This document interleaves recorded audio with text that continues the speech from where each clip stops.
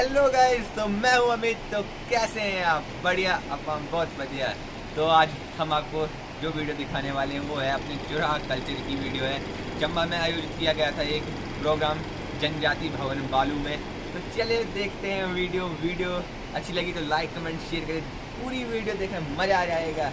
चलिए चलते हैं वीडियो के स्टार्टिंग में।